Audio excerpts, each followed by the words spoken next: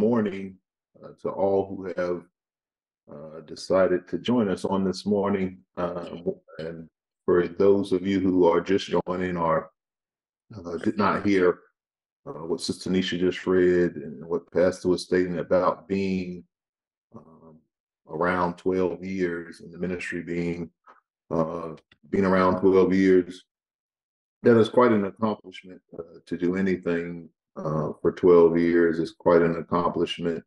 Um, to be about the Lord's business for 12 years, and it's a tremendous opportunity and responsibility to be about building the kingdom of God for 12 years. So um, that is a, a great milestone. Um, and as they say, to whom much is given, much is required. And so we are grateful and thankful uh, to still be here. So with that, I say good morning. And I uh, I don't know if I'm excited because we're getting closer to the football season. The Steelers will be in Tampa Bay in a couple of weeks to uh, handle some business. Uh, unfortunately, Deep, but uh, I don't know if I'm excited about that. I don't know if I'm excited just because it, it seems that uh, I'm coming to the end of my fifth week. Uh, but I'm excited on this morning. That's the word of God. Hey, man. It's a pleasure and an honor to be able to share the word of God. Time we're given the opportunity to do so.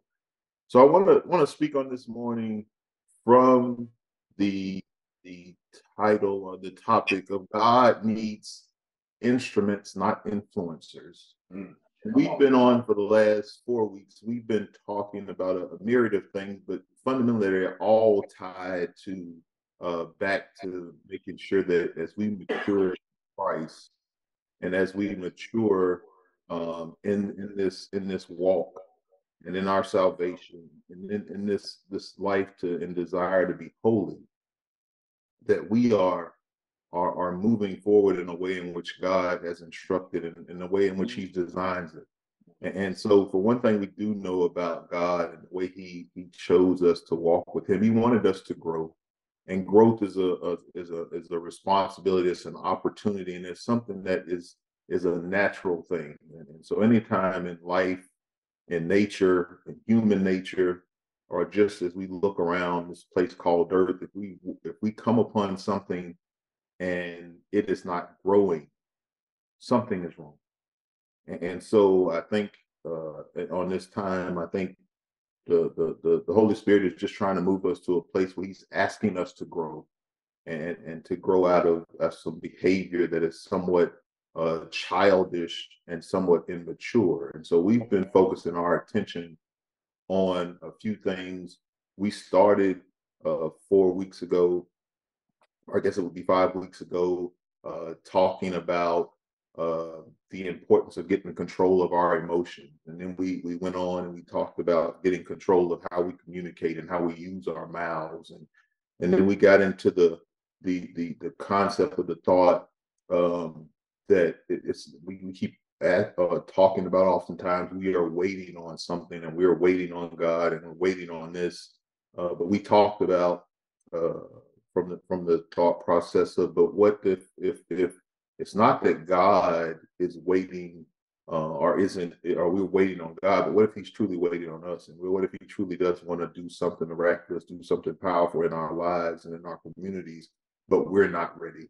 And, and so it requires that we get to a point that we are ready. So that's the area of growth. And then um, last week we talked about um, understanding the importance that we live in a world, we live in a society that God will judge you based on the totality of your actions uh, in this thing called life. And so we we know the Bible tells us that we will stand judgment and we will have to give an account for every word spoken, every deed done. However, in this world that we live in, because we are so short of attention and we are are, are, are being that moves so fast, people do not look at the totality of your actions and make a judgment about who you are and whose you are and who you serve they oftentimes will look at how you react to something and use that to determine who you are and use that to define you. So it's important that in the body of Christ, we be mindful, knowing uh, that we are under a finer microscope than than, than most who, who don't call themselves to be believers or walker walkers and believers in Christ. That if we are not understanding that how we react to things will oftentimes be the testimony uh, and and and what will be used to prosecute and convict us and to judge us, we have to be mindful and thoughtful of that when we carry ourselves and we behave in the society in which we live. And, and so on this morning, I think we're going to close talking once again about the importance of uh, what is probably the most important thing now in our society is social media.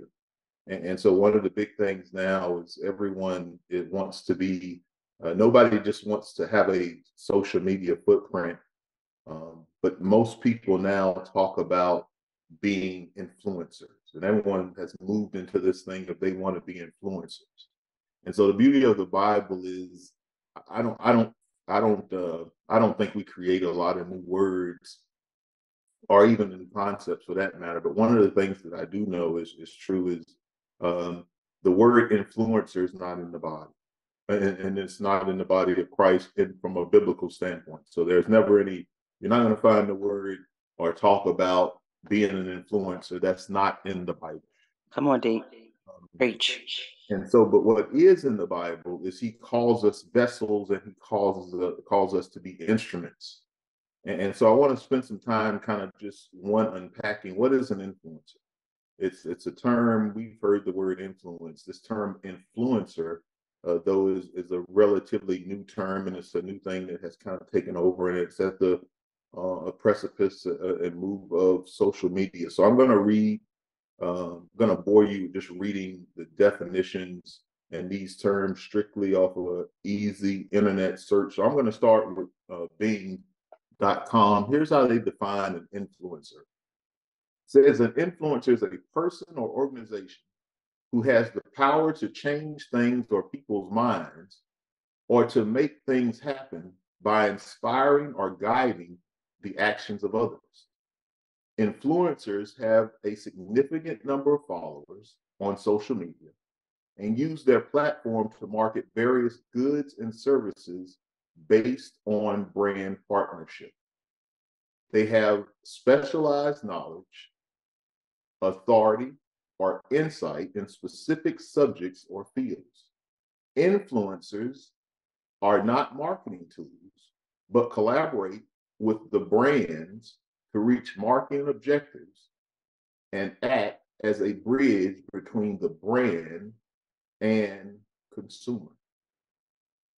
Goes on to say, now this is a this is another definition out of influ- influencer marketing hub.com. It says this an influencer is someone who has the power to affect the purchasing decisions of others because of his or her authority, knowledge, position, or relationship with his or her audience, a following in a distinct niche with whom he or she actively engages.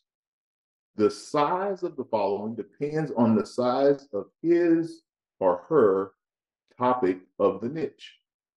It is important to note that these individuals are not merely marketing tools but rather social, uh, but rather social relationship assets with which brands could collaborate to achieve their marketing objectives. And it goes on to say, uh, goes on to talk about what is a a, a, a, social media influencer, but I want to I want to speak on I want to talk about this because it starts to talk about how much impact these influencers are having and how fast they're growing. Um, so it says, what is a social media influencer? Over the last decade, we have seen social media grow rapidly in importance. According to most recent statistics, the projected number of global social media users in 2023 is about 5 billion, indicating a rise of about 7% from the previous year. Inevitably, these people look up to influencers in social media to gain them their decision. So what we what we what we learn here, what we just know just based on the definition, um, we just understand that, that influence is a powerful tool used to uh, lead and guide and, and help people, uh, or at least uh, move people to make certain decisions about how they want to purchase something and how they want to go about uh, doing their business. The last thing I'll read, once again from the same site, says this Influencers in social media are people who have built a reputation for their knowledge and expertise on a specific social media channel and generate large followings of enthusiasts. Engage people who pay close attention to their views. Bands uh, brands love social media influencers because they can create trends and encourage their encourage their followers to buy products they promote. And so, one of the things that you will notice, or that I hope jumps out to you uh, when we start talking about uh, influencer, understand that the influencer is about the, the, the it's about a person and it's about the fact that at the end of the day, the influencer goes back to who that person is. And understand that person is then using their power and their control over a group of people to now lead them to make decisions really from a marketing standpoint about how to purchase things and what they're going to purchase and what's good for purchase. And so the concept of the thought behind the influencer, fundamentally, first and foremost, goes back to putting the importance on the power of the influencer. And so we have to understand that the influencer, the, re- the reason influencers are becoming more so so popular, and the reason people like the thought and concept of the influencer and why it takes on uh, such a popularity is it goes back to putting it about us. And so everybody wants to be an influencer. And the reason that just is so attractive to people is because we like the idea of the thought of being having power and having control over a group of people. And so when you say, well, I want to be an influencer, I just don't want to be a part of something, but I want to be an influencer. What we really are saying oftentimes is, I like the fact that I have a following or a group of people who I have power over or control over. And now I'm going to use my power or control to now uh, partner with someone else to drive an agenda, to drive a product, to drive a service. And so the fact that we all can put make a couple changes on our social media applications and we can now call ourselves influencers, we like that. The other thing we like about it is by becoming an influencer, we become an entity that is now a profit or money making entity. And so we like that. So just about any time in history, you've given man an option to have power, control, and money. Those things are very, very popular and very, very uh, powerful, and people like them. And the reason people like them is because we are a prideful being by nature. And so if you understand that, if, if you're thoughtful about that, you'll understand why influencers are so important and, and it's so popular and it's growing so so fast because it feeds everything that by by nature we are about. Most. And so the only problem uh, with this is there's nothing wrong with influ- influencers when we start talking about, as the definition says, it's about marketing and it's about goods and services. And so fundamentally, there's nothing wrong with that. And if used in the right setting, being an influencer is not a bad thing. I think the problem, however, is we in the body of Christ have gotten confused into thinking God needs us to be influencers. And God doesn't need us to be influencers. Come on now, D. Preach. Called us or asked us to be an influencer. He is the influencer. Hmm. He doesn't need us to sell him. That's that's not what he asked us to do. What he asked us to do was just speak about him. And he says, this is scripture. He says, I will draw all men unto me. On now. Problem is, the influencer is about I drawing people unto him. And so we have to be very careful that we don't get into an influencer mindset when we start talking about the work in which we're doing because God is not a good or a service to be sold. That's not what he is. H.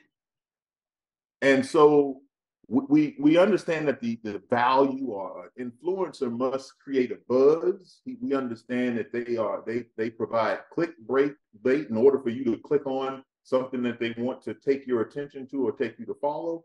And we understand that they are required to come up with hot takes and hot topics to draw you in and to get your attention. And so understand that even though the Bible doesn't talk about influencers, understand that even the Bible tells us that we must be careful of the power of influence. So uh, if you go to the book of Proverbs, in Proverbs chapter uh, 13, verse 20 says this. He says this in, in the book. Solomon says, He that walketh with wise men shall be wise, but a companion uh, of fools shall be destroyed. So, once again, the Bible doesn't talk about influencers, but the Bible appreciates the power of influence. So, Mm. even Solomon says, Hey, if you put yourself around wise people, you'll be wise. But he says, But if you take on the companion of fools, I didn't say it. Solomon says that you shall be destroyed. My Lord. Then if we go to Proverbs chapter 22, verses 24 through 25, it says this proud and ha- proud and haughty scorners in his name who dealeth in proud wrath. And so once again, we find ourselves here. Solomon is is uh and I'm uh, uh, I'm sorry I was reading 21 there, but it it, it brings the point uh, of about us being haughty and prideful. So he cautioned, and, and Solomon uh, talked about this quite often, that we have to be very careful because we are a prideful group. We're a prideful bunch. And we have these high, you know, the Bible tells us don't think highly of, of yourself than you ought. Right. So Amen. that the counter to, to th- thinking too highly of yourself is to be prideful, also have a haughty spirit. Uh, and so Bible says be careful. Proverbs 22, uh, verse 24 and 25 says this. It says, make no friendship with an angry man, uh, and with a uh, a furious man who uh, who shalt not go. Least thou learn his ways and go a snare uh, to be a snare to thy soul. So understand once again, we start talking about who we're making friends with and how we can be influenced. So in this case, he's saying, hey, don't put yourself around angry people uh, because you can be influenced by. It. And so if the Bible appreciates it, understands the the power influence has over us, once again, still don't have influencers per se, but it understands the power of influence. I'll I'll close with the if we go to the First Corinthians, uh, I'll close on this this topic. Uh, I should say, if we go to First Corinthians chapter fifteen, verses thirty three through thirty four, Bible says this, and this is New Testament. It says this: Be not deceived. Evil communication corrupt good manners. Yes. Awake to righteousness and sin not. For some have not the knowledge of God. Hmm. I speak this to your shame. So once again, Paul here in the church of Corinth is once again warning the people not to be deceived. Because he understands the power of influence. And so now we get ourselves into situations where we have people when we're in a society that teaches you have to be an influencer, or people who have bought into the to the thought that in order for people to be saved, healed, delivered, and set free, they need to be influencers. Not God, but they need to be the influencer. They have to, you have to understand the way this works is you have to make uh, things that get people's attention. And you have to say things and do things that get people's attention. So that is why we see people who have taken on this concept, thought, or idea of being influencers. That's how you get statements that say things like 85% of Jesus' life was out of order.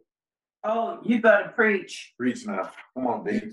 says, you know, he was anointed, he was called, he was chosen, but he was wrong. Come on now. Come on. And so you understand they are doing this because they have taken on the mindset and the thought that they need to do things that get people's attention. Mm. Crazy stuff. In some way to the word of God.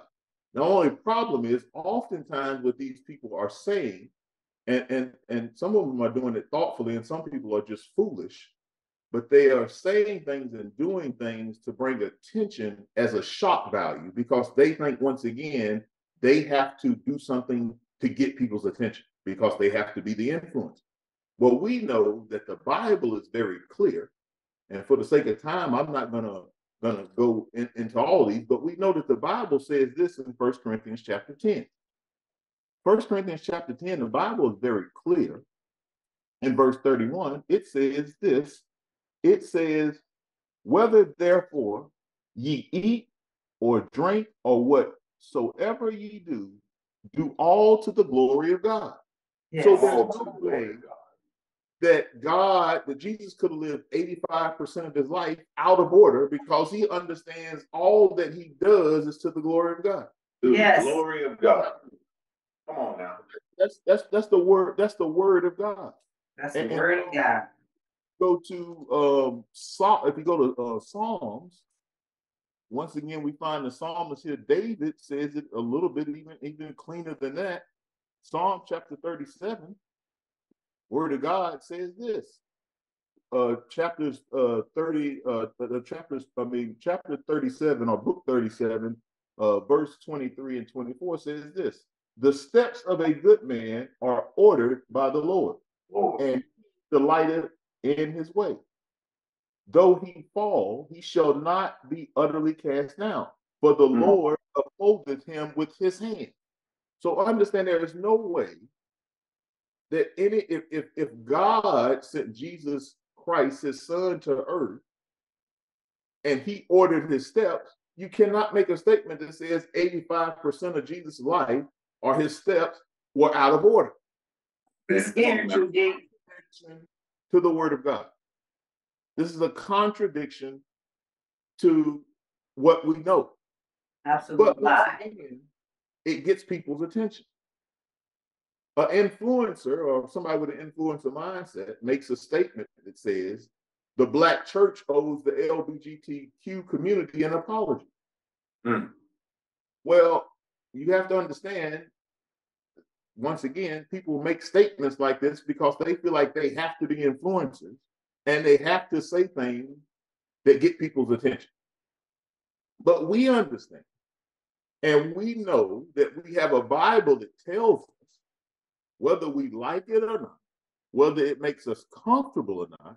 The Bible is very clear and it says it, and Paul says it, and he was uh, in what most even even people that don't believe in God would tell you would, would say that the, the the plight of not just the United States but many uh, major power uh, countries and, and, and societies aligned to to what happened to Rome. Romans chapter one verse twenty six is very clear. It says, "For this cause God gave them up to vile affliction, for even their women did change the natural use that which uh, that which is against nature. And likewise, also men leaving the natural use of their of their women burn in their lust one towards another, men with men working that which is unseemly and themselves uh, that recompense of their error which was met. Verse 28 And even as they did not like to retain God in their knowledge, God gave them over to reprobate minds, Reprobate. minds. things which were not convenient, being with all unrighteousness, fornication, wickedness, covetousness, maliciousness, full of envy, murderers, debaters, deceiters, malignant, whisperers, backbiters. He goes on to identify. Yes, but one of the things you understand is he talks about sexual morality.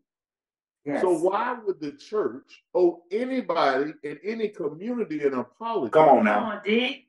that is operating in sexual morality?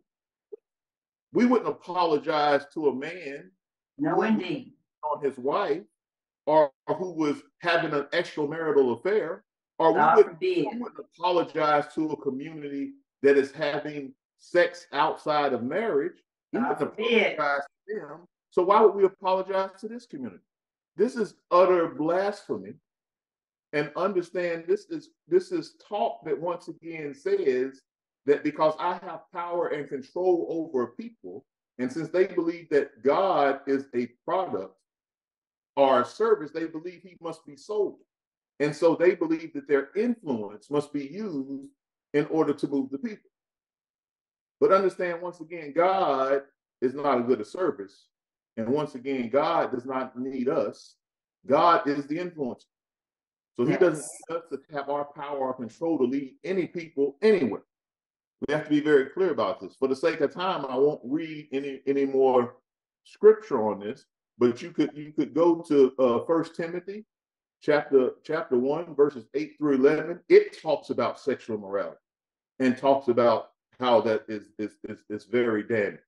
Um, First Corinthians chapter six verse fifteen through sixteen talks about it. In the book of Mark, and I, I'll go to Mark because it's it Yeah, always yeah, yeah, let's let's just go to yes, Mark. yes. Yes, yes. Let's go to Mark. Mark chapter 7, verse 20 through 23 says this. And this is Jesus speaking. And it says, And he said, Think which cometh out of the man that defileth the man. For from within, out of the hearts of men proceedeth evil thoughts, adulteries, fornication, murders, thefts, covetousness, wickedness, deceitfulness, levit- uh, uh, uh, lasciviousness, and evil eye, blasphemy, pride, foolish. All these evil things come from within and defile the man. So this is Jesus speaking. Yes. He lists some things there. One of one of the things you can't deny that he lists is sexual morality. Understand if Jesus says these things come from the hearts of men, from within him.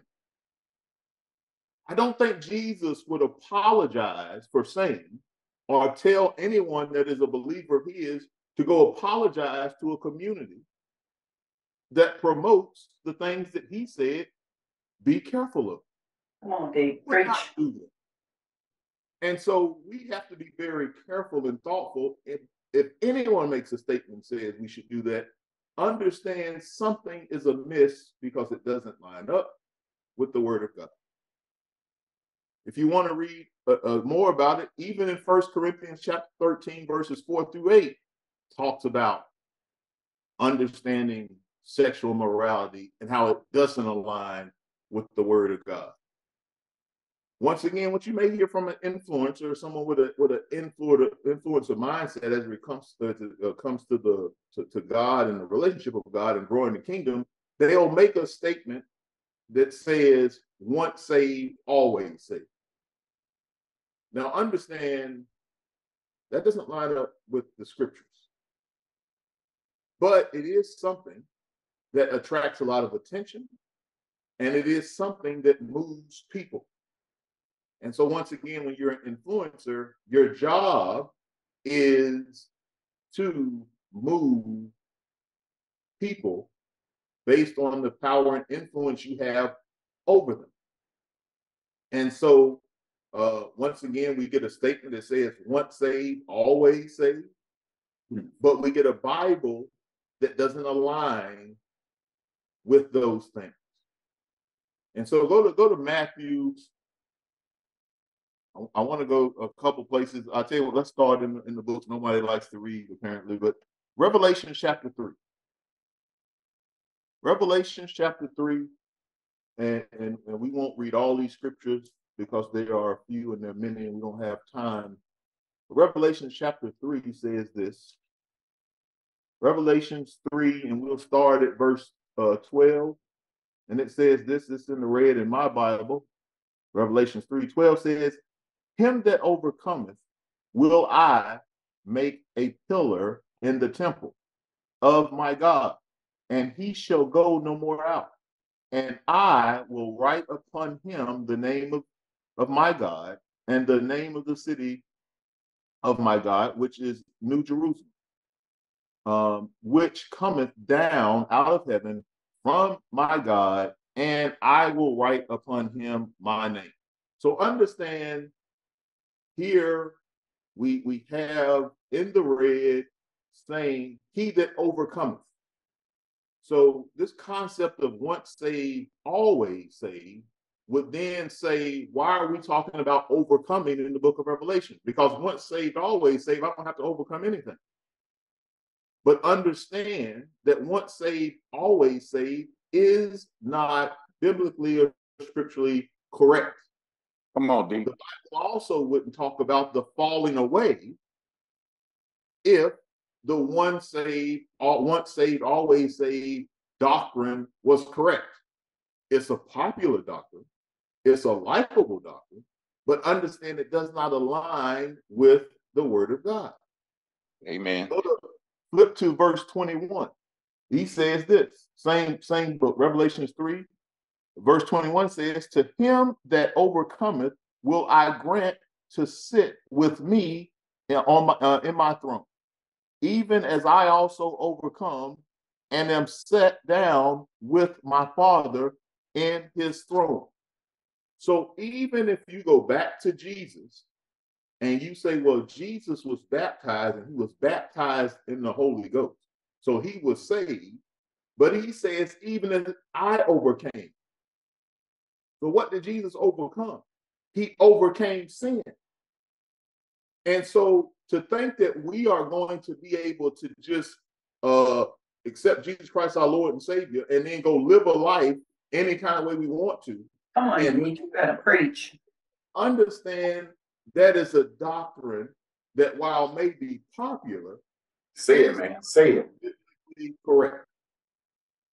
But it's good influencer material. People astray. Uh, if and for the sake of time, I'll give you some scriptures to to, to more uh, go into the whole concept of once saved, always saved, and how that does not align with the scriptures. If you go to First John chapter uh, two, verse uh, four, you can go to uh, Romans chapter eight, verse fourteen. We looked at Matthew 19, 25 through 26. You can go to John chapter 16, verse 7. You can go to Acts chapter 2, verse 38. And you can go to Acts chapter 5, verse 32. And they will let you know that once saved, always saved does not align with the scriptures. Now, an influencer will also make a statement that would say something like this God is love. So he would not allow anything evil like hell. There is no hell. Mm, on now. But once again, that does not align with the scriptures. But it is popular, it is a likable message, it is something that would drive and influence a lot of people, It is a lie. and it's clickbait and it gets people's attention, but understand it's not biblical. Hmm. Matthew chapter 25, verse 41 says this Then shall he say unto them on the left hand, Depart from me, ye cursed, unto everlasting fire, prepared for the devil and his angels. So you are right to say, well, uh, Jesus or God would have never uh, designed hell or made hell. No, he didn't design it or make it for you. Let's be very clear about that. He made it for the devil and his angels. That's who he made it for. But understand also that you play a role in deciding if you want to join them there. And so we cannot blame God or blame Jesus or use that love as an excuse to say, I can go live a life that is opposite of the teaching. And because he loves me so much, he won't allow me to go to a place that he designed for the devil and his angels. That doesn't align with the scripture. Go to Revelations chapter uh 20. We'll go back to Revelations. Revelations chapter 20, and we'll start at verse 12. And it says this And I saw the dead, small and great, stand before God, and the books were open, and another book was open, which is the book of life. And the dead were judged out of these things, which were written in the books, according to their works. And the seas gave up the dead which were in it, and the death of hell delivered up the dead which were in them. And they were judged every man according to their works. So understand, let's not blame or use or try to, to, to say, well, God loves me so much. Jesus is love and he loves me so much that what I do, what I do and how I live my life and the things that I go about doing, he says, your works, you're going to have to answer for them. You're going to have to give an account for the way in which you did things. Mm, come on now. And so it would be a fallacy, it would be a misconception to tell somebody that there's a gospel, or there could be a gospel, but the gospel of Jesus Christ in no way says that God loves you so much that there is no hell or that you can't go there. Right. That's not biblical. And it's not. That might love. that might be that's an emotional feel good story that makes me feel better, uh, either about me or about people that I know and people that I love, and maybe even people that have passed away before me. That might make me feel better but it doesn't line up with scripture. I'm not going to uh, Amen. you can go see Second Peter chapter three, verse nine. It talks about this concept also, but for the sake of time, we will not uh, we will not uh, venture there. The other thing you might hear from somebody who is bought into this influencer role and who must create clickbait and, and do things that, that that get people emotionally involved. They may make a statement that says, well, you don't need a pastor or to go to church.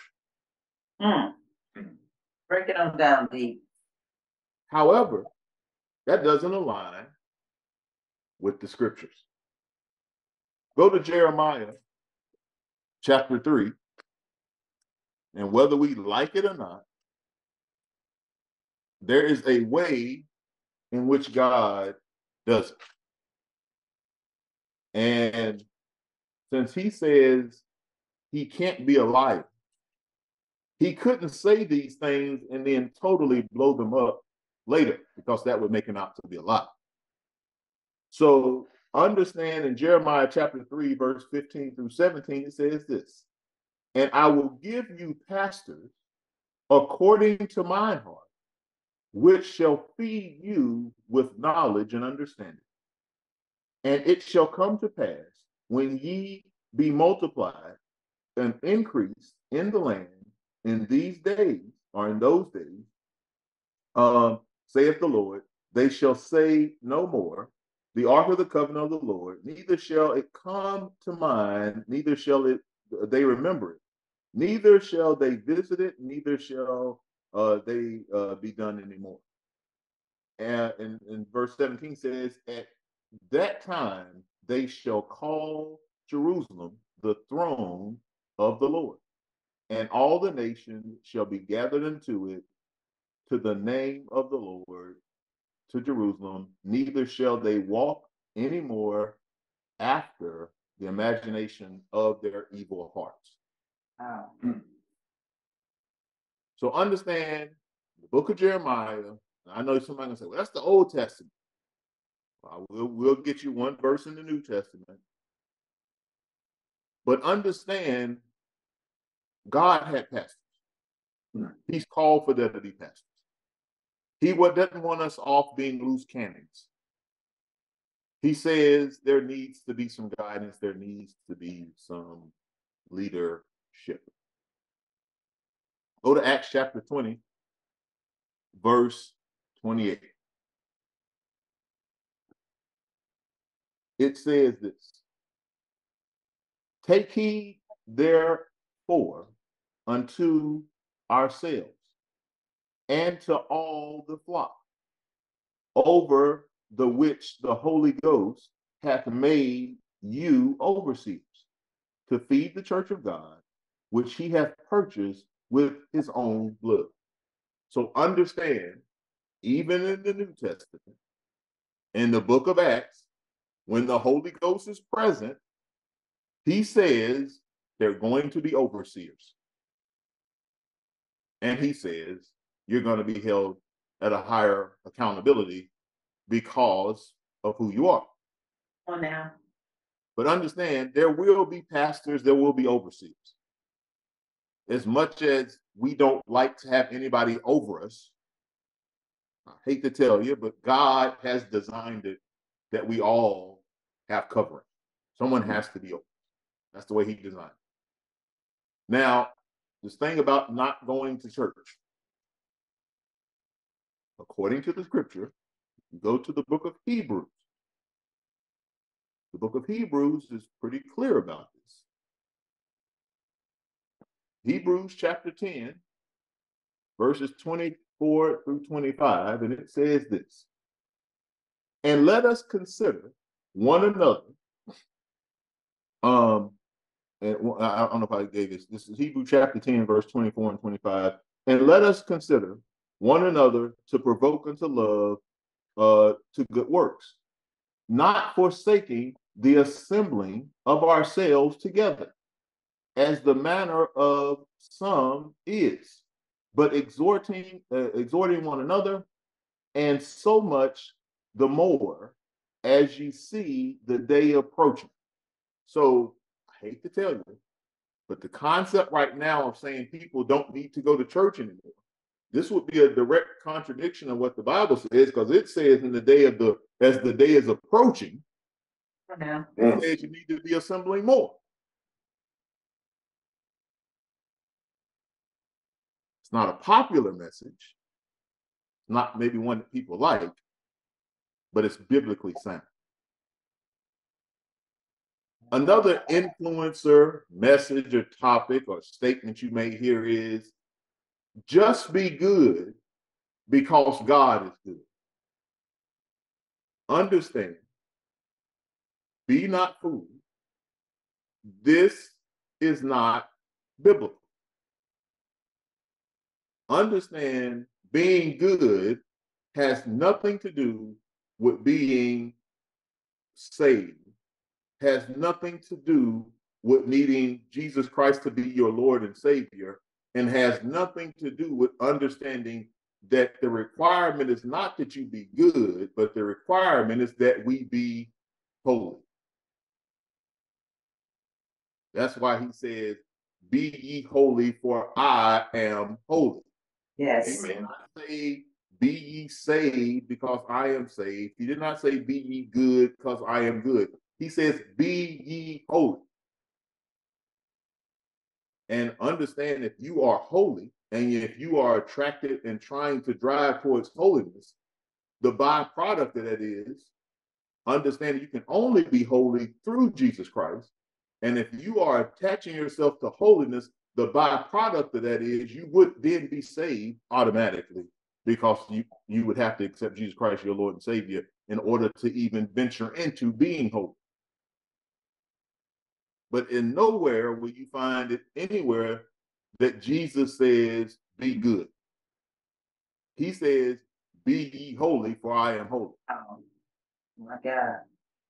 Uh, Ephesians chapter 2, and um, we'll read, we will just read one of these, but Ephesians chapter 2, verse 8 and 9 says, uh, 8, yeah, 8 and 9, it says, says this. For by grace ye are saved through faith that not of ourselves. It is a gift of God, not of works, least any man boast. So once again, you being good has nothing to do with the fact that you're saved, because in order to be saved, understand you have to accept Jesus Christ, your Lord and Savior. And the mm. only person that can save you is Jesus. So you have to Only accept him.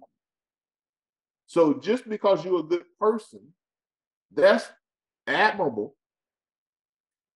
However, it has nothing to do with your salvation. Amen. Has nothing to do with, with we being brothers and sisters in Christ. You're just a you're just a nice person, just a good person.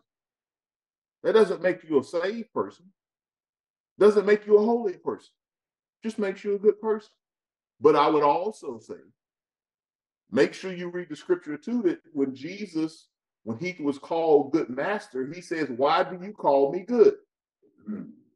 He says, There is none good but the Father. Amen. So if you don't align yourself with the teachings and the responsibilities of the Father, guess what? You can't be good either in the eyes of God. Just the way he wrote it. That's his that's his requirement, that's not mine. And so once you get to the understanding that uh and if you want to also read a scripture about understanding why just being good isn't good enough, uh Ecclesiastes chapter 7 verse 20 uh speaks to that Solomon does there. Uh but we have to understand God is not looking to be sold. He is not a product or service. He doesn't need us to sell him. What God desires is not for us to be his salespeople, not for us to be his influencers. He doesn't want that. What God desires us to be, and what God desires is to be worshiped. That's what he desires, not to be sold. He desires to be worshiped. Amen. And the reason he does not call us influencers, but he uses a different term. He says, What I need you to be is I need you to be instruments. Oh, now, B. And so the definition, and this is once again uh, all credit going to Bing.com. This is the definition of an instrument. It says an instrument can have different meanings depending on the context. It can be a device used to produce music or musical sound. It can be a mechanical implement or tool for precision work, a tradable asset, or a negotiable item in finance, a measuring device for determining the value of a quantity, or a written legal document. It can also be an important factor or agency in something or an object used to perform some task or action. And so the reason the Bible talks about talks about us and, and the concept of being an instrument is the instrument has nothing to do with itself. As a matter of fact, an instrument is absolutely useless until someone uses it. Right. Use it. Yes, sir. Has nothing to do with you. And so the Bible says you are to be instruments, meaning God wants to use you to do his work. Come on, man. Preach. And so he doesn't need us to influence. He doesn't care about us. We have no power. He is the power. He says, when I, if you get to a point where I can use you, I can pick you up and use you as an instrument to do my work, that's what I need. Yes. The problem is, we got a lot, but one of the problem is we don't want to be instruments. We want to be influencers.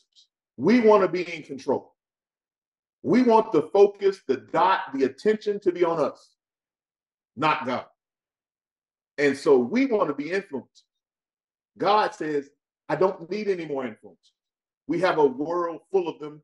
They're growing at 7% a year, and, and you guys are running off to be them. So we, we got to even question now. God now has to compete because we'd rather be influencers for the business selling good and service. We don't have really time for him, so that's a concern. But also, he don't want us to be influencers because he don't need us to influence anything. He needs us to be instruments so he can pick us up and use us to do his work. Preach. Deacon Naaman, preach.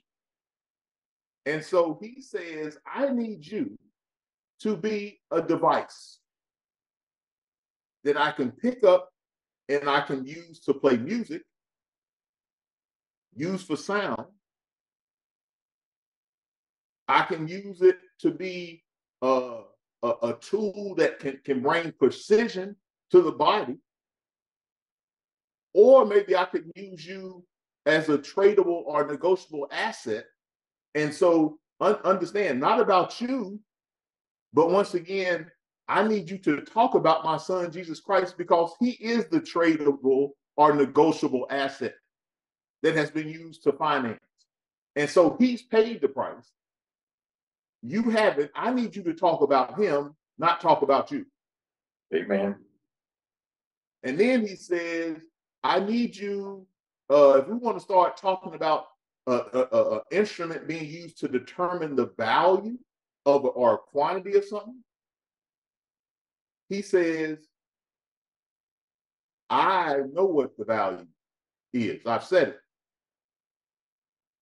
He said the value or the quantity of who you are is the fact that I gave my life for you. Yes. Thank you, I just need you to be the instrument that can be used to explain that to people. Hmm. I don't need you to be the focus. Need you to be the instrument. And if you want, if I want to use you to talk about the written legal document, he says, I wrote a Bible. Come on, Dick. And so I don't need you to do anything. That's why he says, I don't want you to add anything to it or take anything away from it. He's wrote the document. Come on. He says, just give them the document. Don't change the document. That word. Don't correct the English. I don't want you to change anything. Don't take out stuff that could hurt people's feelings. Wow. Changing it. Give them the document. That's what I need you to do. But the problem is, we are so busy being influencers, and we as an influencer have to take into account losing our power and control. So what we say is, well, because I'm an influencer, God, I'm not an instrument. Let me fix the word to deal with my constituents. Mm. But that's he don't want influencers. Though. He said, I just need you to be an instrument. I just need you to be in a position to be used to share my gospel, not your gospel. Come on It's now. not about you. Hallelujah. Now, I know we don't like the Book of Mormon, But in the Book of Mormon, they have a book in there uh, uh, called Alma, and I, I, I like this. This is what it says. Alma chapter 26, verse 3 says this Behold, I answer for you, for your brethren, the Lamanites, uh, were in darkness, ye even in the darkness abyss. But behold, how many of them are brought to behold the marvelous light of God? And this is the blessing which hath been bestowed upon us, that we have been made instruments in the hands of God to bring about the great work. He says, we have been made instruments. We're usable instruments that can be used to do the work of God. So you say, well, I don't know. Under, do you understand Jesus was an instrument? That's why he Yes, yes, yes. he always said, I am here doing the work of who? Not me. Father, I'm not the influencer. He says, I'm doing the work of my father. I'm just allowing myself to be an instrument. in him only. Come on now. But many times we want to be the influencer, not the instrument. Understand that is a problem. Uh, go to Acts chapter 9, verse uh we'll, we'll go to we'll go to Acts 9 15 uh really quickly, and then we got to get into the Bible shows us the difference between an influencer and an instrument. All right. Acts chapter 9, verse 15 says this Jesus speaking. But the Lord said unto him, Go thy way, for thy is a chosen vessel unto whom to bear my name before the Gentiles and the kings and the children of Israel. Does anybody have a different translation uh, than I'm reading King James? Anybody have something different than King James? And if you do, could you please read Acts chapter 9, verse 15? Okay, I'll get it for you, Deep. Um, Acts chapter nine, verse fifteen. Can you guys hear me? Yes. So Acts nine fifteen in the uh, New Living Translation says, But the Lord said, Go for Saul, go, for Saul is my chosen instrument to take my He is message to the chosen. What, what, he call him? He called him his chosen what? his chosen instrument. Calls him his chosen instrument. Go ahead. I'm sorry. Keep reading. You find, go, for- go, for Saul is my chosen instrument, instrument to take my message to the Gentiles and to kings as well as to to the people of Israel. And I will show him how much he must suffer for my name's sake. Now, this is Jesus speaking. It's in the red. Then the red. He didn't ask Saul. He said he's my chosen instrument. of mine. Once again, bringing back attention, not about Saul. It's not about you, not about me. What he's looking for is instrument. Because he said, if you just be an instrument, I can use you to do what I need to do. Hallelujah. Uh, Second Timothy, for the sake of time, we won't go there. But Pastor, I do want to read this because it's just as important. Can you get the Message Bible, and can you get First Peter, chapter uh two, and I want to read 19, uh nine through nineteen. But I want it out of the Message Bible. First Peter, chapter two, nine through 19. So 10, 10 Okay. verses. There's another, no, I we won't read it for the sake of time. We'll, we'll let Pastor read uh, First Peter. But if you go to Second Timothy chapter 2, verses 20 through 21, it's going to talk about the fact of us being his instruments, his chosen vessel. Now, uh, Pastor, if you got it, can you read First Peter chapter two, verses nineteen, uh, verses nine through nineteen out of the Message Bible? Okay. So it's kind of hard to tell which verse it is in the Message Bible, but is. I'm thinking it says, present yourselves as building stones for the construction of a sanctuary vibrant with life, in which you serve as holy priests, offering Christ approved lives up to God. The scriptures provide precedent. Look, I am setting a stone in Zion, a cornerstone in the place of honor. Whoever trusts in this stone as a foundation will never fall, will never have cause to regret it. To you who trust him, he's a stone to be proud of, but to those who refuse to trust him, the stone the workman threw out is now the chief foundation stone. For the untrusting, it's a stone to trip over, a, a boulder blocking the way. They trip and fall because they refuse to obey, just as predicted.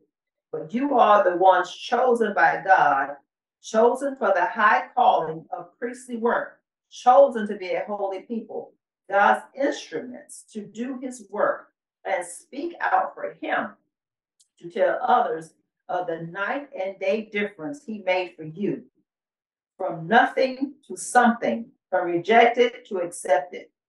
Friends, this world is not your home, so don't make yourselves cozy in it. Don't indulge your ego at the expense of your soul.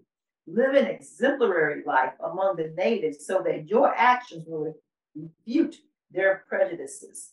Then they'll be won over to God's side and be there to join in their celebration when he arrives. Make the master proud of you by being good citizens. Respect the authorities, whatever their level. They are God's emissaries for, for keeping order. It is God's will that by doing good you might cure the ignorance of the fools who think they are in they're a danger to society. Exercise your freedom by serving God, not by breaking the rules. Treat everyone you meet with dignity. Love your spiritual family. Revere God. Respect the government. Thank you. I think you said the word in there, chosen instruments to speak. Yes. And so once again, he's saying the same about you. You ain't the cornerstone. For him. This ain't about you. I don't need you to influence anyone. I need you to let me be the influencer. I just need you to be the instrument. And I'll do all, I'll do the rest of it. And so, but once again, he talks there about don't change my word, don't change my message. But see, when you're an influencer, because your power and control is governed and based off of how many people you control, you can't be used truly by God because your message, and I should say his message, won't be popular with all the people.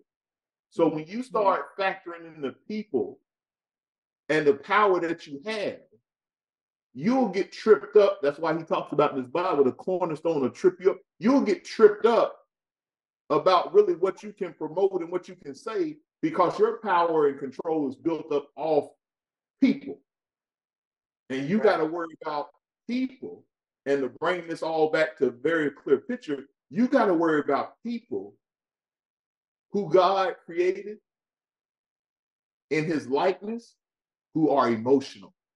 Mm-hmm. And so, because you don't want to infringe on their emotions and their feelings, you have to now make a choice between their feelings and God's word. And so, usually, because we're influencers and not instruments, we will side with the emotions and feelings of the people who give us the power. And so that's why he doesn't like influence.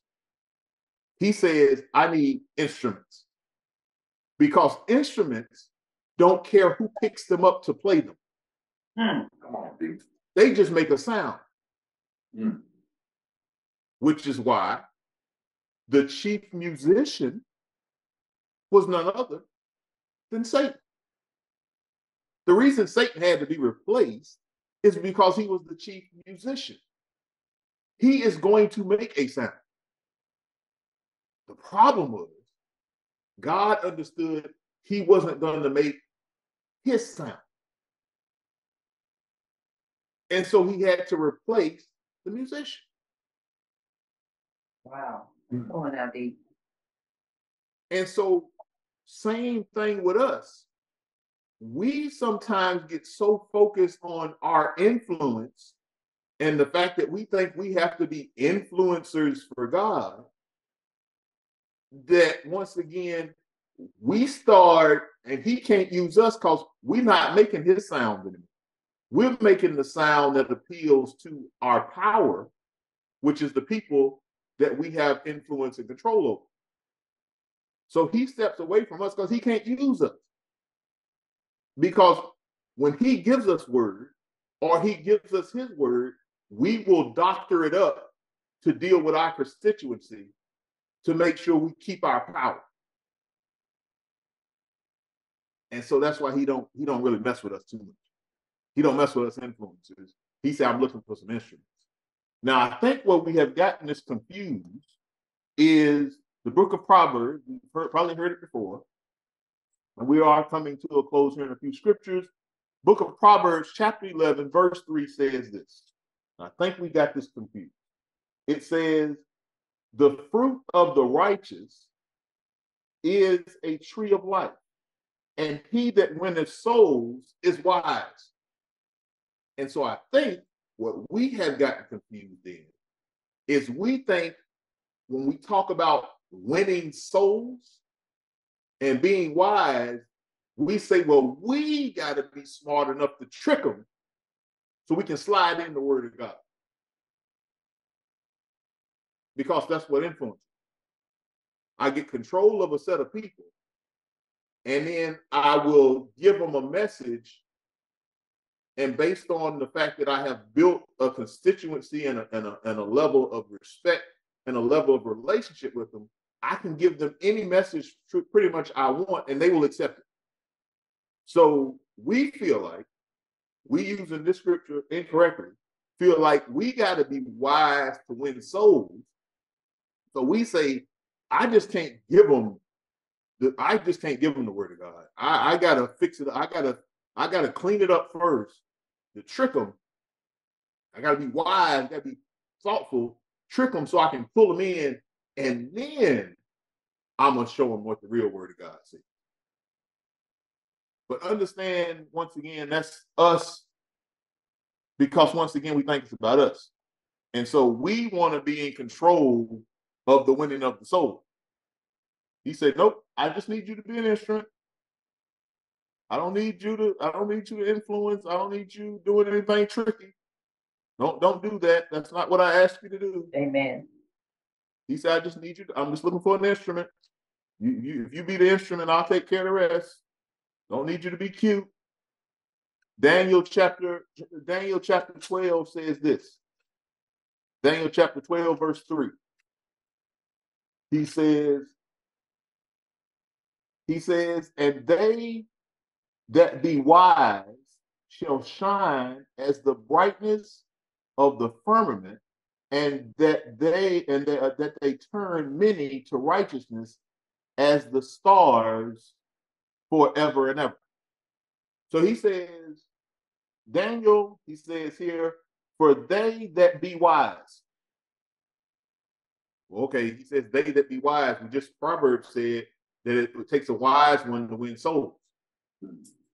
This just said he said the ones that are wise, he says they shall uh, shine brightness to firmament, and they that uh, turn many to righteousness as the stars ever and ever. He says you're gonna be an important person if you're a wise person.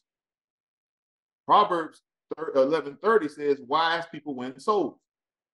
But then we get First Corinthians, and when we start talking about what makes a person wise, the Bible tells us what makes a person wise. Spoiler alert, it's going to be Jesus Christ. First Corinthians chapter 11, verse 1. Now I praise you, brethren, that ye remember me in all things and keep the ordinances as I deliver them to you. Once again, he don't need you to be an influencer. He needs us to be instruments.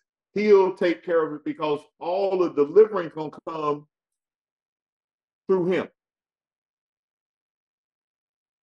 He don't need you to be cute. He don't need you to be tricky. He says, what I need you to do is I need you to remember me in all things. Keep the ordinances as I deliver them to you. So once again, you ain't controlling. I'm the one that's going to deliver the people to you. But it's about me, not about you. First Corinthians chapter, the back up one second there. Now. First, First Corinthians chapter 10, uh 30, 32 and 33 says this. Just up a up a up a, a few verses. It says, give none give none offense neither to the Jews or the Gentiles, nor the nor the church of God, even as I please all men in all things, not seeking my own profit, but the profit of many, that they may be saved. So Paul is explaining that this is not about me. He says, I might have a relationship with all men, um, but he says, not seeking my own profit. Mm-hmm. Influencers are about profits. Profit. They are profit. That's right. He says, I'm not seeking my own profit, but the profit of many that I may that they may be saved. Paul is explaining to the church of Corinth, I ain't about building up a whole lot of relationships with people. That's not important to me. That's what's not profitable to me. This is about saving souls. And then he says in verse 31 whether therefore ye eat or drink, whatsoever ye do, do all to the glory of God. Once again, this ain't about you, all about God. That's the influence. You're the instrument. He's the influencer. He will give his message through you. You got no play in it other than are you willing to be an instrument? That's all he needs to know. He'll take it from there. So I want to I want to want to close up here identifying in the scripture the difference between an influencer and an instrument. And we find it in none other than our good friend Paul. Paul here is he is an instrument, and we're going to talk about how he is an instrument. But I want you to listen to what Paul is saying here. And this is chapter 2, uh, 2 Corinthians. Uh, and I want to do uh, 2 Corinthians, and I just want to actually, um, I want to go Second Corinthians first. I think I'll do Second Corinthians first, and we're going to come back to our good friend uh, I want to do Second Corinthians 10 10, and we're going to come back to somebody that's an influence because there is a there is a difference. Uh, so I think I want to go Second Corinthians chapter 10, verse 10. And it says, he says for this, for his letters say they are weighty and powerful, but his bodily presence is weak and his speech is contemptible. So understand Paul here understand Paul wasn't the most eloquent of guys. He was writing some heavy stuff. He had a heavy message, but he wasn't charismatic. It didn't come across in a way that was necessarily, uh, he didn't have a, the greatest of speech or, or orientation. He wasn't some great orator. he was just a man speaking a heavy word. And so, fast forward to today, because we have to be entertained, we are choosing those who accept to accept the word of God and be the mouthpiece of God based on their presentation. Come on, B. But they might not have a heavy word. Hmm. But once again, it makes it very clear that Paul, he, he, he had heavy and powerful word, but his bodily presence was weak. He didn't he didn't dress a certain way. He wasn't the he wasn't the most ripped guy in the in the pulpit. That wasn't his word. That wasn't his that wasn't him. He didn't look like much, and the word say he didn't sound like much. But it says he had a heavy, weighty, powerful word. Now, Wow. Come on, D. You brought that out. let's go over and now let's go over and look in the book of Acts for a minute and let's close in the book of Acts. We, we find in the book of Acts some things that are pointed out. Here's what we know about Paul, because and and we know about the the the those that are instruments. Let's go to let's go to uh let's start in 17. Acts chapter 17, verse 2. And it says this. And Paul, who we just heard that had a heavy word, weighty word, but he didn't look very good. He didn't look like the strongest guy. He didn't wear the nicest of clothes. He didn't have the greatest of speech. Says this. And Paul, as his manner was, went in unto them and uh and three Sabbath days reasoned with them out of the scriptures. Paul say, I'm going on the word. I'm sticking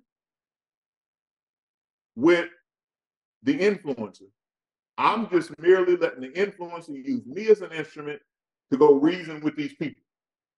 Then it says in verse 3 opening and alleging that Christ must needs have suffered and risen again from the dead, and that this Jesus, whom I preach unto you, is Christ. For some of them believed and consorted with Paul and Silas, and of the devout Greeks, a great multitude, and of the chief women, not a few. So understand, Paul said, I'm just coming here. I'm going to give you the word. And I'm going to sit down and I'm going to reason with you. I'm going to give you these scriptures. I'm going to stay with you three days. And I'm going to show you that this ain't about me. This is about Jesus Christ. Amen. Go to, go to, um, flip back to Acts chapter 16, verse 17. So Acts chapter 16, verse 17. And it says this, and some the same followed Paul and us and cried, saying, These men are the servants of the Most High God, which show unto us the way of salvation. The same weak, not well spoken instrument is being used to save people. He's given them the influencer. He's merely being the instrument. Acts chapter 18, verses 4 through 12 says this. And he reasoned in the synagogue every Sabbath and persuaded the Jews and the Greeks. And when Silas and Timothy uh, were come uh, from Macedonia, Paul was pressed in the spirit and testified to the Jews that Jesus was Christ. Amen. It's not Paul. He's strictly sticking to his message and about Jesus Christ. And when they opposed themselves and blasphemed, he shook his remnant and said unto them, Your blood be upon your own heads. Hmm. I am clean.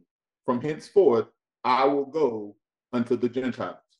And he Yeah. departed thence and entered into a certain man's house, uh, named uh, Justus or Justice, one that worshipped God, whose house joined hard to the synagogue, or maybe your Bible doesn't talk about it being joined, um, but understand it was next door uh, to the synagogue. And, and then it says he went to the synagogue, believed on the Lord with all his house, and many of the uh, the, the uh, uh, Corinthians hearing believed and were baptized. Then spake the Lord to Paul in the night of his vision, Be not afraid, but speak, and hold not thy peace. For I am with thee, and no man shall set on thee to hurt thee, for I have much people in this city. Once again, because Paul was weak, wasn't well spoken, he stuck to his script. It's about Jesus Christ. I'm here speaking the word of God. I'm merely an instrument. And God says, because you have shown true to be an instrument, and I know I can use you as an instrument, he assures Paul by giving him a vision to say, don't trip. These people, you didn't base your power, you didn't base your your your value on how many people you had uh, under your influence. You pointed you from the start, you pointed everybody back to me. So I got your back. Amen. So you ain't got to worry about what you're saying, what you're teaching. I got your back. I have you covered. Uh, same chapter, Acts chapter 18, um, and we go to verse 13. Once again, it says this saying this, fellow pers- persuadeth men to worship God contrary to the law. So once again, Paul goes and he's persuading people, not because he's debonair, he's smooth, he's attractive, not by how he looks, and he don't speak well. He just giving them word. That's all he's giving them. And he's persuading and people away from the law. Just giving them word, just being an instrument, not doing anything over overly, you're not doing some big deal. Verse 19. And he came to Ephesus and left them there. But he himself entered into the synagogue and reasoned with the Jews. He don't care where you put him. He don't care whether you put him around Jews or Gentiles or kings or whoever you put him around. Paul said, I got one message. Jesus Christ. Amen. He is the Lord and Savior. He is the Christ. That was his message. He didn't do anything cute. He wasn't trying to build some big social media footprint. I'm just giving them word. That's all I'm doing. I don't have nothing else. I don't look good. I don't talk very well. I'm not, I can't fight everybody out here. Only thing I can do is give them word. And the fact that Jesus said, Hey, long as you're doing what I told you to do, you give them the word, I got you. That's all he that's what he was leaning on. Now, we gotta go to to to to uh Apollos and we we out of here. So I'm a pastor, if I could borrow you, uh, because I know you'll have uh, uh, uh, uh whether you I know you can do it out of message or you can use your your other translation that's not King James that you normally will, will talk from. If I could get you to read Acts chapter 18, verses 24 through 28. Okay. So we still in Act, book of Acts. We ain't left it. We in Acts chapter 18, chapter 24 through 28. And what translation are you reading from? New Living Translation. New Living. Let's see what New Living got to say. Meanwhile, a Jew named Apollos, an eloquent speaker who knew the scriptures well, had arrived in Ephesus from Alexandria in Egypt.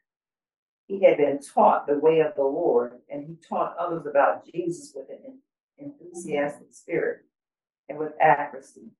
However, he knew only about John's baptism When Priscilla and Aquila heard him preaching boldly in the synagogue, they took him aside and explained the way of God even more accurately. Apollos had been thinking about going to Achaia, and the brothers and sisters in Ephesus encouraged him to go. They wrote to the believers in Achaia, asking them to welcome him. When he arrived there, he proved to be a great benefit to those who, by God's grace, had believed. He, re- he refuted the Jews with powerful arguments and public debate. Using the scriptures, he explained to them that Jesus was the Messiah. Amen. So now we find an influencer here because the Bible tells us that Apollos, born, he was born in a nice area, he was an affluent guy, and he says he's an elegant, uh, eloquent man, mighty in scripture. But here's what I look. Verse 25 says, here's the only problem. It says this man has been instructed in the way of the Lord, being fervent in spirit, he spake and taught diligently of the things of the Lord, knowing only the baptism of John. In other words, he didn't have Holy Ghost. Hmm. Paul had the Holy Ghost. Paul knew who the Holy Ghost was. He was able to speak boldly on who Christ was and that Christ was the Messiah because he had and knew the Holy Ghost. Yes. We find Apollos over here. He is publicly accepted. He's attractive. He's from a good, good, good, rich part of society. And they said, but he was useless in the body of Christ because he did not have the Holy Ghost. He didn't know. He just had a good message. He knew some stuff. He had good knowledge. He had some wisdom because he knew who Jesus Christ was. He knew John the Baptist. He knew Jesus has been baptized. But what he did not have, and what Jesus says, I will leave you and you must have when I'm gone, he did not have the Holy Ghost. He had only been baptized through the baptism of John, which is the water. He hadn't been baptized in the Spirit. Right. Priscilla and Aquila say, you got some, you got some, uh, some, you got some, some skills and abilities, but we need to tell you about who God really is. So they say they begun to speak boldly in the synagogue. When Aquila and uh, Priscilla uh, had heard, they took them uh, into them and expounded. My Bible says it expounded or explained unto him the way of God more perfectly or more accurately. So he says what they did was powerful women now, because they explained to him this ain't about how good you speak, Come on now. how well you dress. It's not about what family you come from or where you grew up, because he grew up in Alexandria. That's not important. But if you really want to be used by God, you got to understand the Holy Ghost. Amen. But see, when you in a world that's about influence, it's about how good you speak, how you look. It ain't about who you really are. These people say if you want to be powerful in the body of Christ, if you want to be powerful about the move of God, this is about Holy Ghost. And so they explained that to him. And then they said, and when he was disposed to pass, so now once they get him coached up, once he gets some clarity, understand he can go from being a influencer to now he's ready to be an instrument. He can really be used now. God can use him. His power, his authority, his um, control that he had before was based on where he grew up, where he lived, how he looked, how well he spoke. That's great. However, when God want to use you, he don't care about none of that. What he want to know is, do you know my son Jesus Christ? Are you filled with the Holy Ghost? And if he knows that you could, you got those two things checked off, then he say, now I can use you for the uplifting of my kingdom, not your kingdom. Mm. This ain't about your life. This ain't about your social media footprint. It's not about you going to market and sell goods and services on your page. That's not important. Do you know the Holy Ghost? You had a Holy Ghost? Now I can use you as an instrument for me. Amen. Then we find, and we're gonna close in the book of Acts. And I'm gonna try not to read all of this, but in your time, read Acts chapter 19. Because after we get my man Apollos, get him squared away, we come back to Paul again. And now he's in chapter 19 and says this. And it came to pass that while Paul and Apollos was at Corinth, and see, that's the beautiful thing. You see, Apollos and Paul couldn't work together before. Because one was an instrument, one was an influence. Mm. But now that he's moved from being an influencer to an instrument, now two instruments can play together and make real good music. Come on now, Dave. So he says, okay, now we together. Was in Corinth. Paul, having passed through the upper coast, came to Ephesus and finds uh, certain disciples. He said unto them, Have ye received the Holy Ghost? Once again, Paul ain't about no foolishness. First thing he went up, do you have the Holy Ghost? You real or you fake? Are you Jesus. about the word of God? You about you about God business or you want something else? You about social media likes? You about being an influence or you about the Holy Ghost? I need to know which which way you playing this. I know which so I can figure out which angle you want.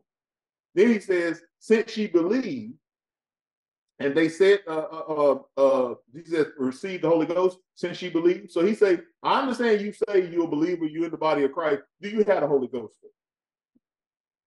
Because once again, we talk about growth now. Just saying I, I I know some Bible scripture, I can quote scripture. That's that's nice. That's good. We talking about growth now. We're trying to get the master level understanding. We're not trying to do grade school stuff. So Paul say, Holy Ghost. Do you have it? No, you know some scripture. Then they say this, and they said unto him, We have not so much as heard whether there be any Holy Ghost. So Paul said, they, they say he said Holy Ghost. Some people say we don't know about that. I don't even know if that's real. I know scripture. I can quote scripture. I got good words. I dress nice. I look good. I got. I'm real. I, I'm a great orator. I know God. I know some word. I don't know if that Holy Ghost thing. I don't even know if that's real. I ain't never heard. I don't know nothing about. It. Then he said, and said unto them, unto what then were ye baptized? And he says unto John the Baptist. So Lord, he say, Lord, now y'all, he say, Apollos, he, I, I don't, the scripture don't say this. I am embellishing.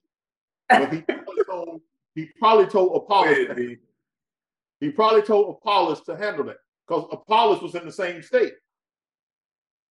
Apollos didn't know the Holy Ghost either. So they say, we don't know about this Holy Ghost thing.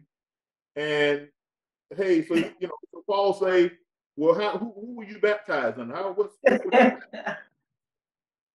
and then he says, and then Paul said, John barely uh, John, John uh, baptized with the baptism of repentance, saying unto the people that they should believe on him which has come after him, that is on Jesus. So understand here very clearly what Paul is trying to tell the people. And we've talked about this. Is he pretty much is saying here in verse 4, oh, John the Baptist, got it. You understand, but the only thing John the Baptist was really teaching and was about was that was about repentance. Mm. In other words, all you have done is made Jesus your savior, Come on, man. But we trying to make him your Lord.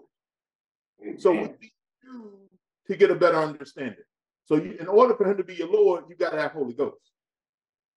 Because just being baptized, you've made him your savior, but he's not your Lord yet. So now he's saying, okay, but we got to make him, and that's what they said. Hey, well, we understand John the Baptist. He said, well, oh, all you know about is repentance.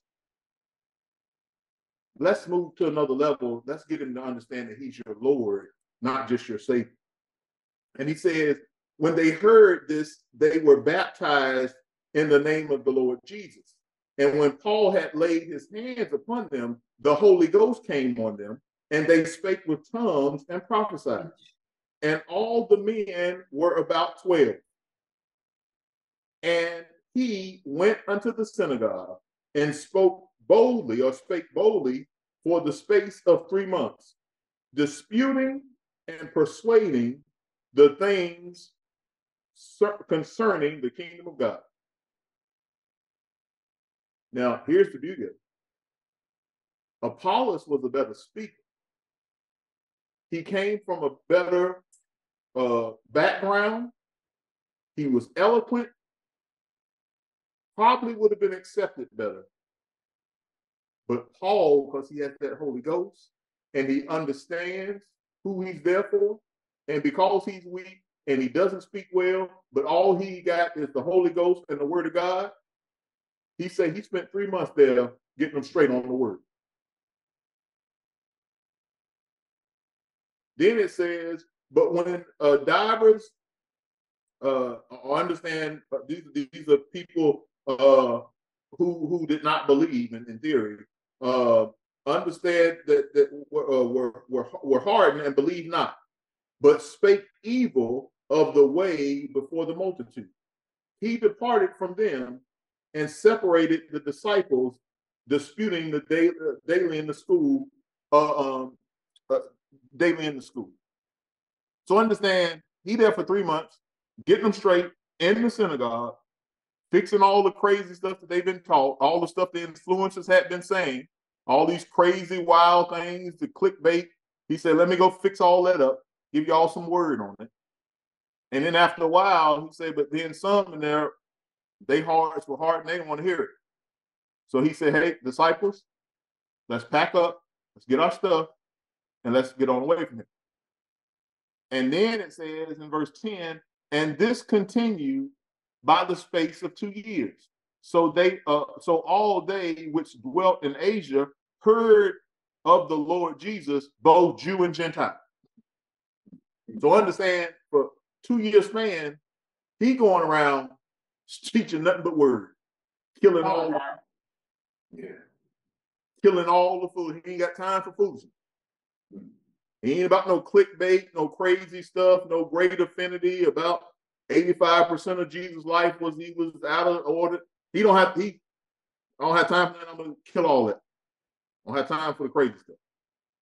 But understand what's gonna happen now is Paul, people don't like Paul. He doing this for two years. People got fed up. They want to, they want to, they, they want Paul out of it.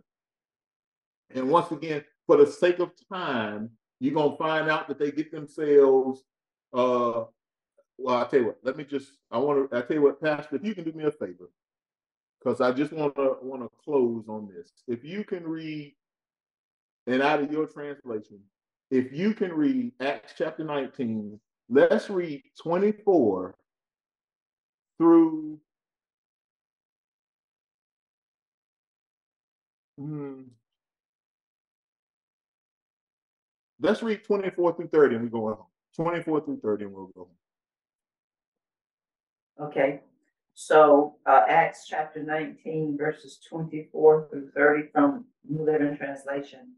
He called him, he called them together along with others employed in similar trades and addressed them as follows. Gentlemen, you know that our wealth comes from this oh, oh business. Oh, did you start at, I'm sorry, did you start at 24? Is your, did you start at 24? Um, 24, yes. Am I in the right place? Um, I think so. It just didn't, you didn't, it didn't mention. Acts 19, 24. Yeah, it, it, just didn't mention Demetrius and Diana. Uh, but okay. okay. Yeah, go ahead. He began with Demetrius mm-hmm. a silversmith who had a large business manufacturing silver shrines of the Greek goddess Artemis. He kept many craftsmen busy. He called them together along with others employed in similar trades, and address them as follows.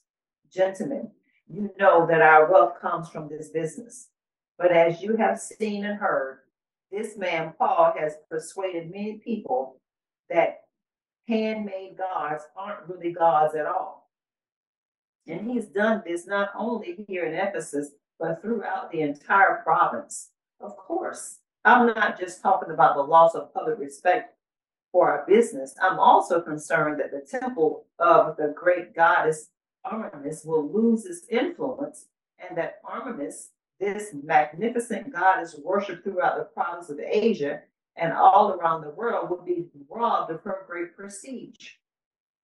At this, their anger boiled, and they began shouting, Great is Artemis of the Ephesians. Soon the whole city was filled with confusion. Everyone rushed to the amphitheater, dragging along Gaius and Archicus, who were Paul's traveling companions from Macedonia. Paul wanted to go in too, but the believers wouldn't let him. Some of the officials of province, friends of Paul, also sent a message to him, begging him not to risk his life by entering the amphitheater. How far am I going? That's the, you good right there. I want to close Yeah. with this. What we find here is we find Demetrius that understand they are attacking Paul because they tell you, and uh, I forget which verse you talked about. He says, "I'm concerned. This man has told these people he's destroying our business Yes. because Paul is telling these people that there is only one God." Yes. and, and and the God, the real God, has not man's hands ain't made him. They were handing out trinkets, and people were worshiping this other goddess, and they were. He was a silver a silversmith. He was making these trinkets that people were Just selling false gods. Yes. and so. Uh, you read it in a scripture. He says, "I'm not just worried about my business, but we employ a lot of people."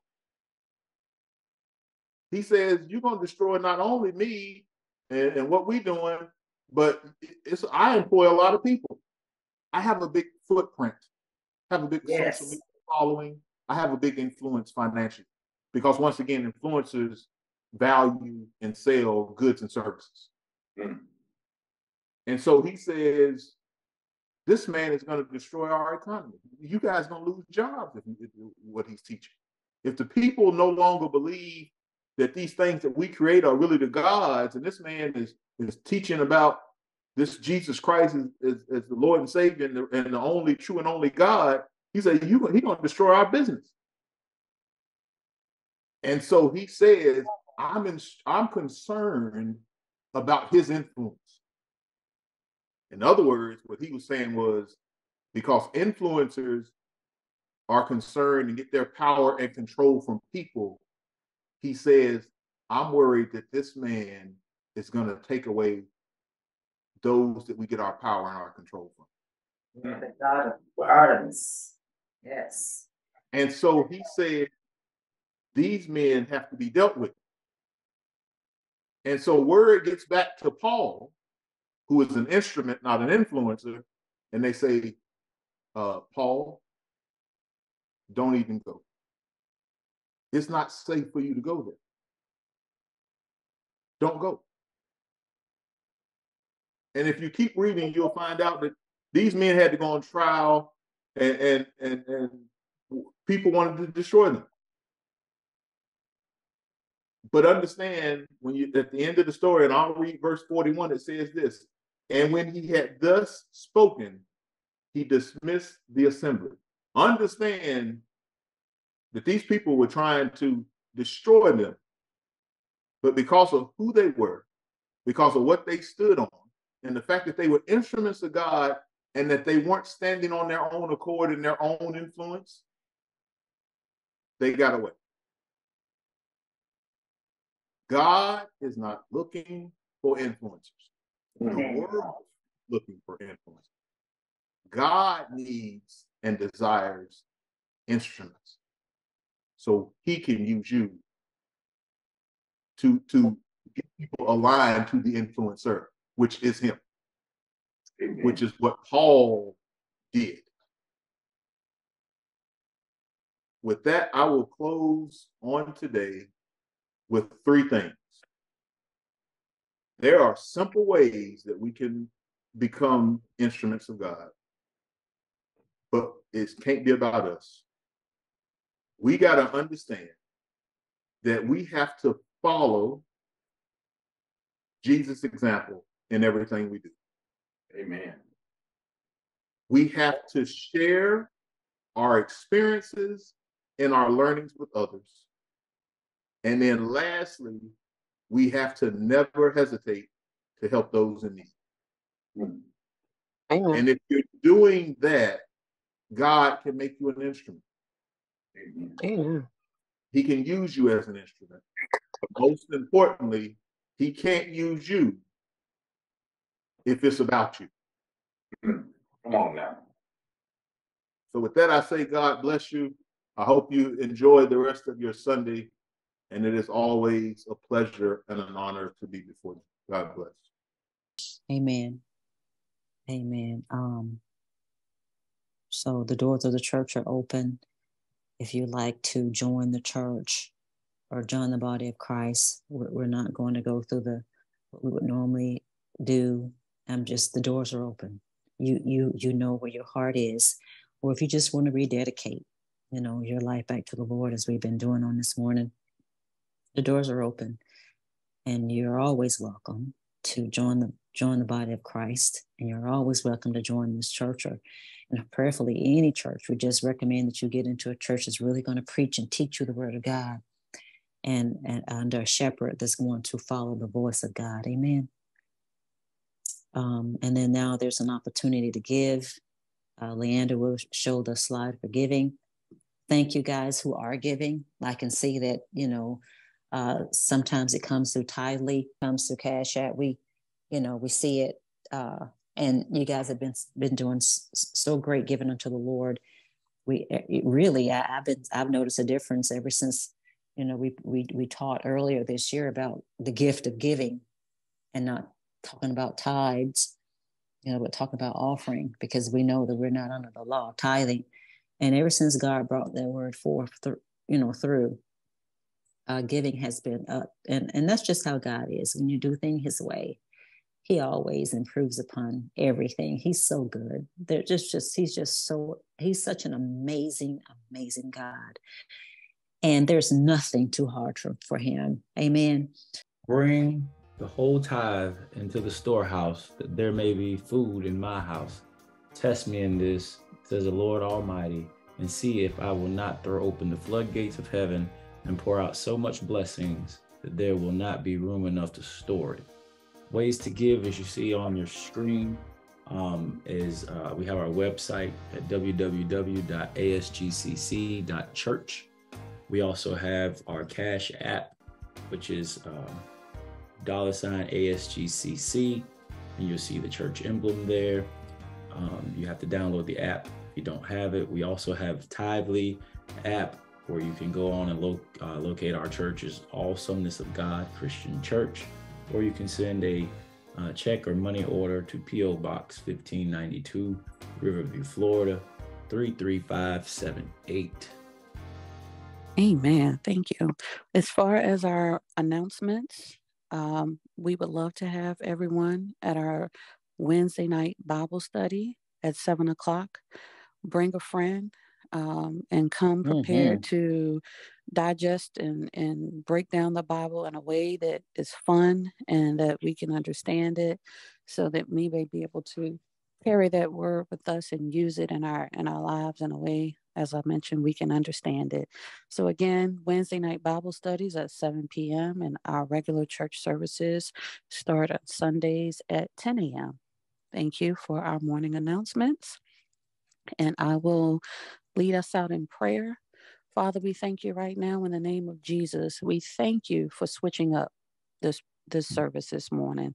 And we Mm, ask, Lord, you, that you just bless everyone on this call right now with what it is they need, Father. Give us the patience, Father, to, to have us to wait and, and have it be done in your in your time, Father. Yes. Lord, everything is perfect when it's done in your time. And we say thank you right now. We Thank just you. ask for those patients, Father. Lord, we ask, Lord, that you just bless our families on this call. Yes. And we just bless just our lives in general. We thank you, Lord, for Thank what you. you have blessed us with so far, Father. And even if you choose never to bless us again, we Oh, say thank come you, Come on now. Thank you, We Lord. thank you right now in the name of Jesus, Lord. Lord, you're an awesome God and so, so worthy to be praised. And we say thank you, Lord. Thank you, We Lord. thank you, Lord, for this church, Lord. And we ask, Lord, that you just continue to bless us and the church, Lord. In Jesus' name we pray, Lord. Amen. Amen. Amen. Amen. Amen. And and and I'll just say we're studying the book of Nehemiah on Wednesday nights, and it is an awesome, it is an awesome study uh, about um, leadership. You know, godly leadership. So if you we're on chapter six, I believe, coming up this week. If you want to read ahead and then join us, love you guys, and to God be the glory. Remember, it is well.